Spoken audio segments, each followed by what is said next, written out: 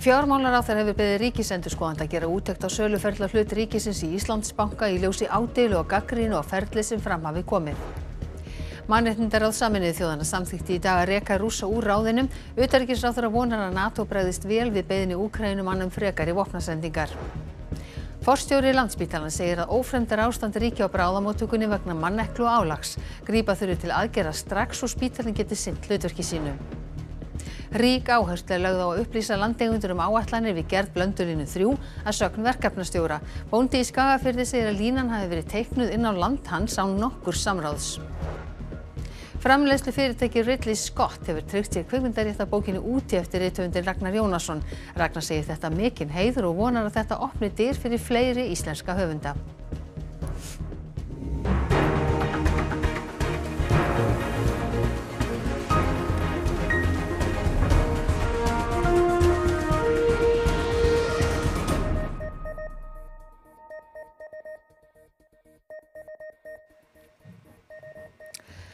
Komið sæl.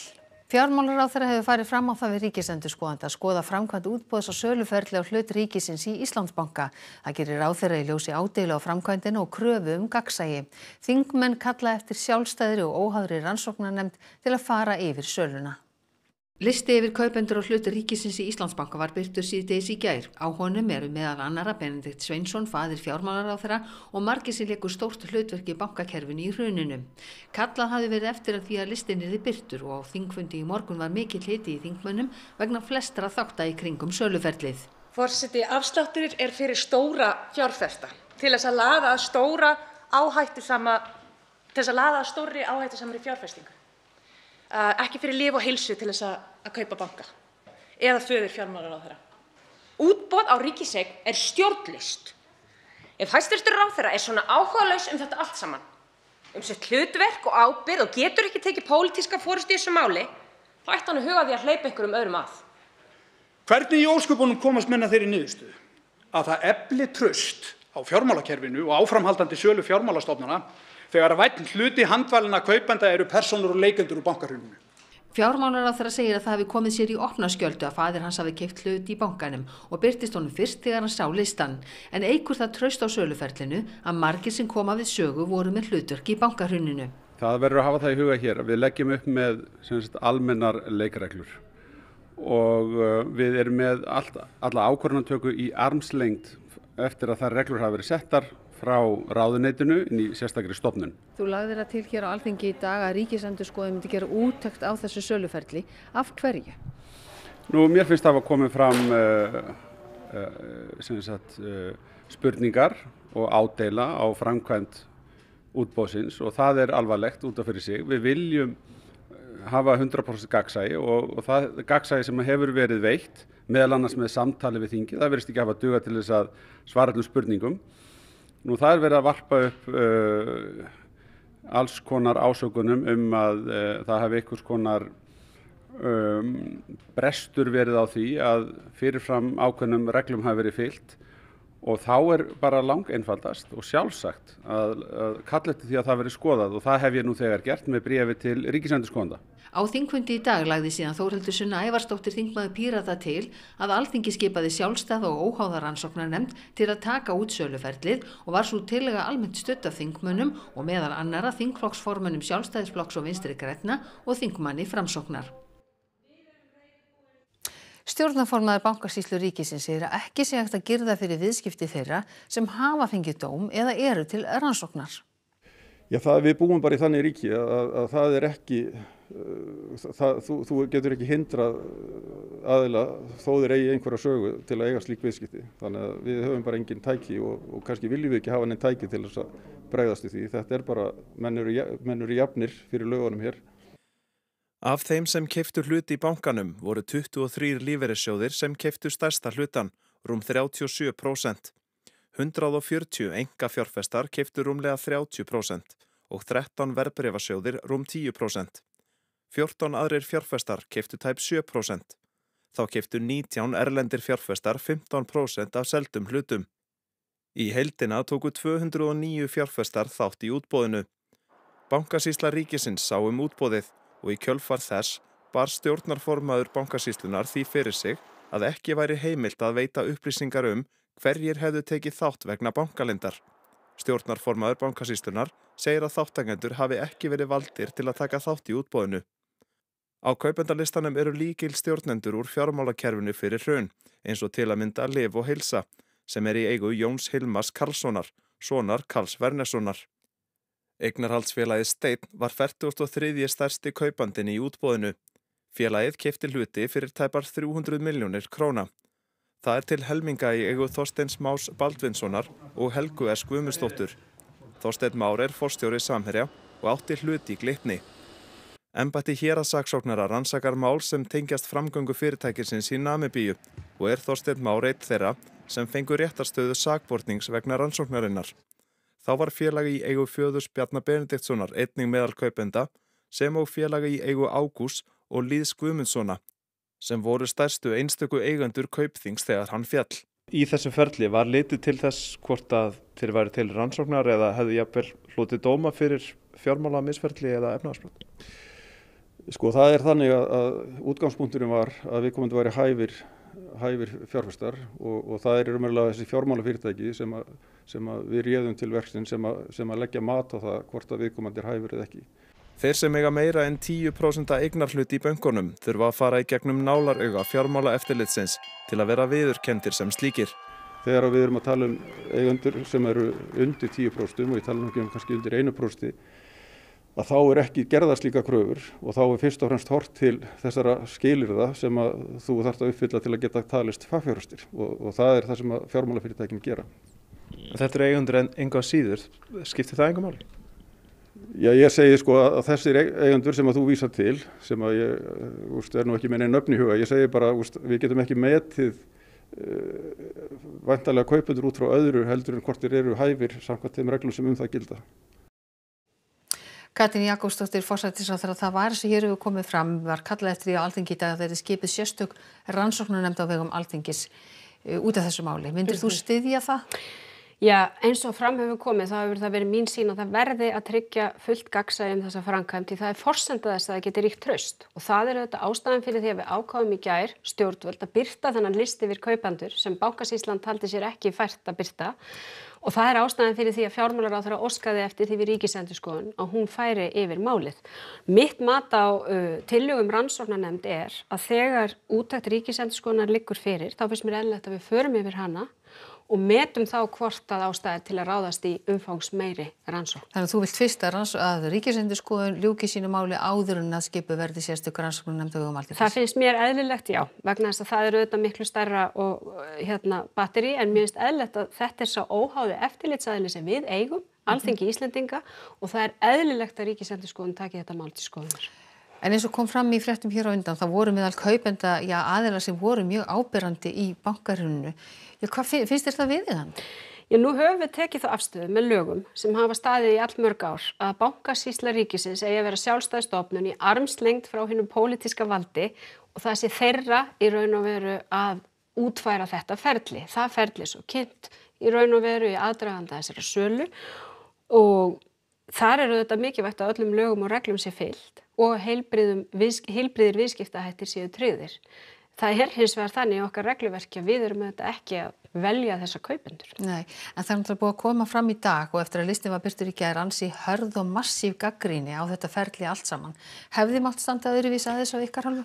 Já, meðal annars finnst mér ástæða til þess að kalla eftir þessari útætt ríkisendur skoðunar fyrsta lagi til þess að fá allt upp á borðið, til þess að öllum þessum spurningum sé, svarað, því það eru þetta þannig að þegar um er að ræða eign í eigu almennings, þá gild alveg sérstök lögmál. Og þess vegna til dæmis fannst okkur að listin yfir kaupendur eiga erindi við almenning því hér er verið að sísla með eigur almennings. Það er ekki eins og, og það trompar í raun og veru bankalind þannig að ég held að það sé eðlert að við förum yfir þetta.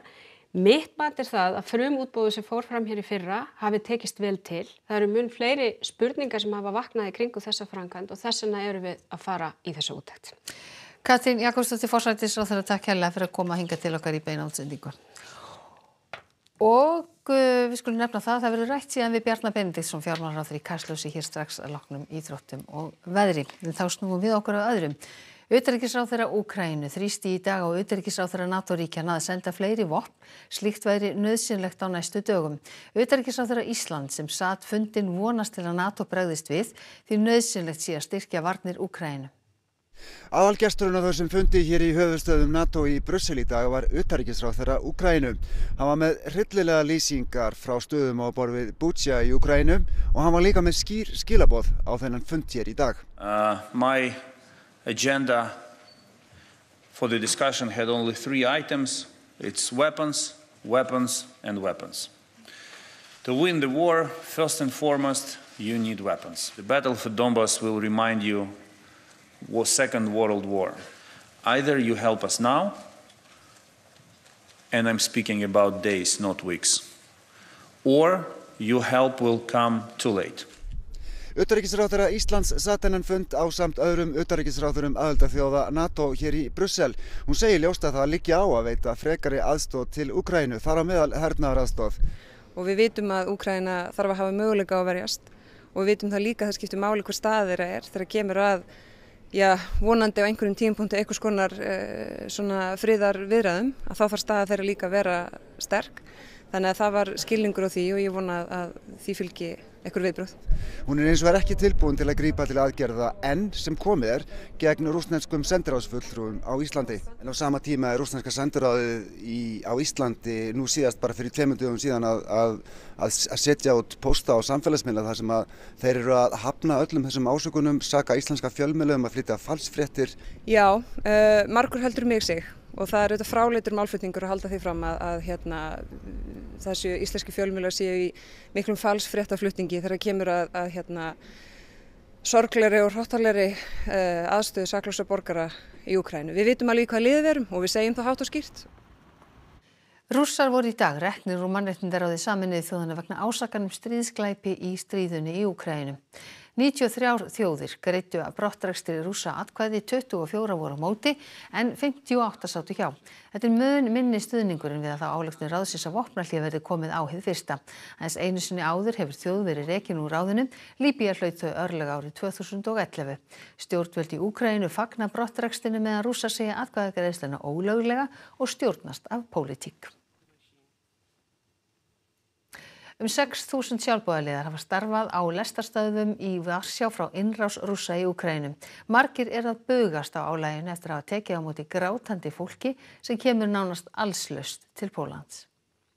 Sjálfbóðilegir hér í Pólandi hafa staðið vaktina allt frá því að rúsa ríðist inn í Ukrænu 20. og 4. februar. Þeir orðin þreyttir en það er tími þeirra ekki endalus. Þeir vilja að stjórnvöld komi til hjálpar og útvegi fólk sem að sérum verkefni þeirra hér á brautastöðunum. I think government should uh, take care of this place, like stations like uh, Central Station, East Station, and West Station, and uh, should provide uh, help for those people.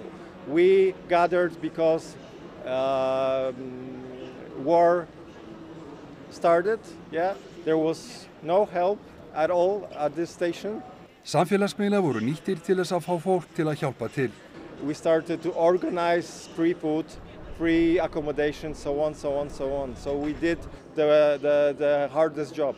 Now uh, there is like four times less people now incoming from the border. So the government should come in and, and provide some money. They have their own sources of volunteers. Uh, so if they think they have enough people, I think uh, on the one six-hour shift, they need here around 60 to 80 people to manage all those things we manage here uh, by ourselves uh, a day, yeah, and it's only six hours shift, and we work 24 hours per day. 43 dagar eru liðni frá innrás rúsa í Úkrænu og eins og gefur að skilji er farið að bera á þreitu hjá sjálfbóðulegunum. People have their own lives. It's really, it's really hard for your uh, mental health to deal with such problems on and on and on. Yeah, like I have like dozens of stories how people like died or how people like small children 50% of people here are children. They are crying they have their needs. They are sometimes uh, missing their parents. How much more can you work for free and uh, and uh, like join uh, gather it with your personal life person with a job and, and helping here. Really, really, it's enough. So I think in seven days we, we already told to the government we are quitting. Hann kvartar undan seinagangi í kerfinu, illa gangi að fá svör þaðan og því færi oflangur tími til spillis. Those people don't have time. They need help right now. Bragi Axelsson, forstuðumæður útibús innheimtustofnunar Sveitarfélag og Ísafyrði var handtekinn í dag í tengslu við rannsókn embættis héraðsaksóknara á málum tengdum stofnuninni. Tíu lauruglumenn og sérfræðingar á vegum embættisins voru á Ísafyrði í dag við skýrslutökur og húsleit. Stjórn stofnunarinnar ákveða nýlega að rifta samningi við Braga og Jón Ingvar Pálsson, forstjóra stofnunarinnar, vegna meintra alvarlegra brota í starfi. Samkvæmt heimildum fréttastofu var Braga sleft að lokinni yfirheyslu. Forstjóri Landspítalan segir Ísland komið í vandraði varandi mannafla í helbriðistjónustu, sérstaklega í krefjandi störf sem þarnist sérþekkingar. Hann hefur fullan skilning á kröfum um ábyrð mistaka í heima hjá stjórn Landspítala og stjórnvalda, ekki einstökum starfsmönnum. Þótt hér sé unnið hörðum höndum við að reysa nýjan spítala er langt í það að hann verði full búinn. Forstjóri Landspítalans segir að það verði að grípa til aðgerða í helbriðiskerfinu strax Það megi ekki býða og aðgerðir verði að vera markvissar. Hann tekur undir orð hjúgrunafræðinga á bráðamóttöku landsbyttalans um að komið sé í algjört óefni þetta gangi ekki lengur. Skiljanlegt er að starfsfólk vísi ábyrðin á mögulegum mistökum yfir á stjórn spítalans og stjórnvöld miða við þær starfsaðstæður sem er í bóði að sögn Runóls Pálssonar. Málið sé erfitt að eiga við þótt þrótlaust sé unnið að laust. Landspítali og starfsfólk sé bundið að lögum þegar alvarlega atvik komi upp. Í raun sé það kerfisvandi en ekki einstakra starfsmanna þegar mistök verði. Þetta er uh, ríkir ófremdar ástand vegna óhóflera verkefna og, og manneklu og þetta er náttúrulega uh, sko, krítisku staður bráðamóttakan þar sem við erum að taka við í okkar veikasta fólki á samt slösuðum og uh, viljum alltaf tryggja öryggi þeirra en þegar við búum við það að flest stæði fyrir sjúklinga á bráðamáttökunu eru upptekinn vegna einstaklingar sem hafa þegar verið laður inn en fá ekki legur í mig þá náttúrulega er ljóst að það er erfitt að taka við nýjum og, og svo er, er, er, er líka e, skortur á starfsfólki þá verður staðan mjög erfið og, og þess vegna eru, eru áhyggjur og starfsfólksins skiljanlegar. Við erum í svona ákveðinni sjálfheldu eins og er. Þú ert nýr fórstjóri landsbytalans. Hvað ætlar þú að gera til að þetta breytist þannig að við séum ekki hér eftir fimm ára að taka sama viðtalið? Ég ætla nú að reyna að koma þetta í leiðar að, að, að, að miskusti þeir, þeir einstaklingar sem að njóta þjónustu landsbytala en geta að fengi þjónustu á öðru þjónustustígi að þeir farið þanga. Það myndi skapa miklu betri aðstæði fyrir okkur til að sinna þeim verkefnum sem eiga heiminn að spítalans. Samvinna við aðrar stofnanir á höfuborgarsvæðinu við heilsugæslu og þá sem sinni öldrunarþjónustu sé nöðsinn til að bæta úr þessu. Fjórðungur spítalans er nú nýttur fyrir öldrunarþjónustu. Verulegur hluti þess hóps gæti verið annar staðar að mati fórstjórans. Verkefnistjóri hjá Landsneti segir að rík áhersla sér lögð á að upplýsa landegundur um áætlanir við gerð blöndurinn þrjú. Reynt hefur verið að gefa öllum tækifæri á að sækja kynningarfundi og lýsa sinni skoðun. En það hafi fjöldi ábendinga borist frá landegundum sem komið að góðum notum. Ein af þeim jörðum sem blönduluna þrjú fer um er starra staðir í Skagafyrði. Í fréttum Rúfi gær gaggrindi bóndin þar landsnett harðlega og sagði línuna hafa verið teknað inn á sitt land á nokkur samráðs. Því sé búið ákveða þarna munin línan líkja og aldrei hafi verið rætt við ábúendur. Frá því við byrjum verkefni núna fyrir tveimur árum þá hefur við haft opna fundi og opna kynningafundi fyrir landegundur og verkefnaráð alveg frá byrjun. Það eru að vera auglistir ofinverlega og við höfum reynd að fá fólk til að koma á þessu fundi og það hefur tekist vel. Þetta hefur ekki allir geta haft tækifæra á að komast. Þú vísa það á bug að, að landeigundu sé ekki allir vel upplýstir? Þetta er þetta misjant. Það er misjaflega margi komið og þetta er búin að vera opið. Við höfum kannski ekki náð alveg til allra en við höfum reynda að auðvitað þannig að allir geti haft tækifæra á að koma. Hún segir að landsneiti hafi borist ábendinga frá landegendum og fleirum sem hafi komið að góðum nótum og hjálpið til við að undirbúa mat á umhverfis áhrifum línunar. Það samtal haldi áfram. Við, við erum ekki að fela neitt, við erum með allt upp á borðinu og okkur langar að vera í samtali við landegendur og fá þeirra skoðanir því að það gerir mati betra og okkar vinnu betri. Við getum þá séð tækifæri, auðvitað getum við ekki komið að móts við allt en við svörum öllu sem við fáum til okkar. Framleiðslu fyrirtæki Rautleis Scott, Scott Free, hefur tryggt sér kvikmyndarétt af bókinni úti eftir rithöfundi Ragnar Jónasson. Ráðgjert er að Scott verði framleiðandi að mynd upp úr bókinni á samt teimi sínu og íslenska framleiðslu fyrirtækinu True North. Viðræður eru hafnar við danskan leikstjóra. Þegar maður hefur elskað bækur og, og bíómyndir allæfi þá er þetta mjög órunverulegt að, að fá síntal um að, um að Ridley Scott hafi áhuga á bókinni og, og og ég er náttúrulega alveg fyrir að, horfa allar þessar stórmyndir hans, Alien, Blade Runner, Gladiator, Thelma Louise og, og að fá, fá takkir til að vinna með svona manni er, er ótrúlegur heiður og, og vonandi opnar þetta líka bara dyr fyrir sem flesta höfundar sem er að skrifa svona eins og ég í íslenska myrkrinu. Skáldsagan úti hafði þegar verið þýtt á ennsku þótt hún kom ekki út fyrir henni vor á því tungumáli. Ridley Scott og starfsfólk hans gati kynnt sér söguna. Kvikmyndafyrirtæki True North vakti aðtegli Scott Free kvikmyndafyrirtækis Ridley Scott á bókinni. Úti gerist upp á hálendi yfir eina helgi, þar sem fjórir vinir neyðast til að leita skjóls í veiðikofa í óveðri. Sálfræði trillir er lýsing sem hefur verið notuð um söguna. Já, það eru tvö, tvö verkefni viðbót sem eru í gangi, sem eru sjómasverkefni. Það er hérna bækundar um huldu sem að, hérna, CBS eru að vinna sjónvarsáttaseri upp úr og, og svo eru Warner Brothers að gera þætti upp úr bókunum Ara Þór á Siglufjörði og þetta er allt í vinslu og allt mjög spennandi fyrir mig sem höfund að fylgjast með og ég, hérna, ég er bara mest spenntur að sjá hvaða þessu merkjum maður fær fyrst að sjá. Og hvað ert að skrifa núna?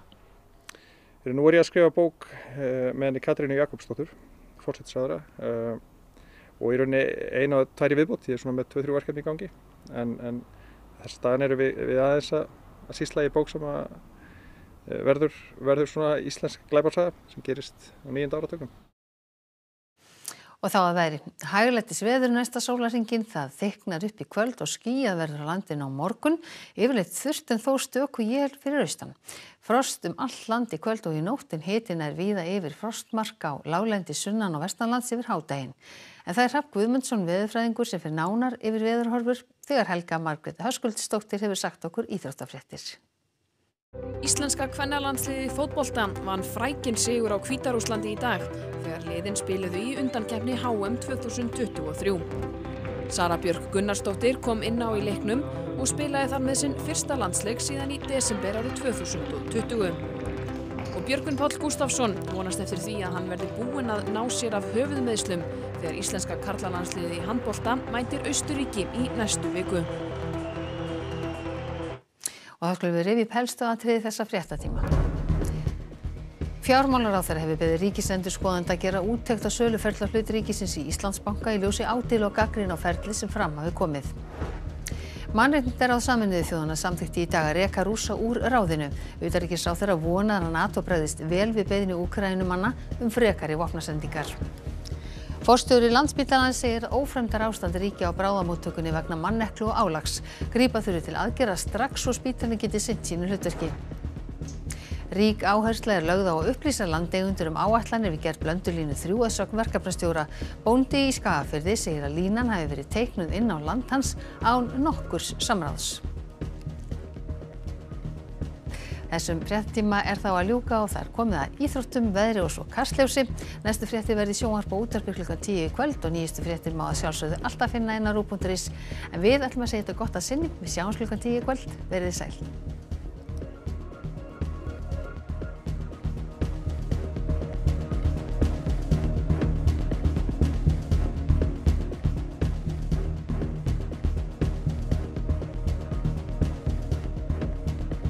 Á RÚF í kvöld. Mér var óbóðið því sá að akkuringar ætlu að banna lausagangu katta og þannig að ég já, stopnaði þetta kattaframbóð og, og, og vonast þess að við náum einhverjum köttum inn í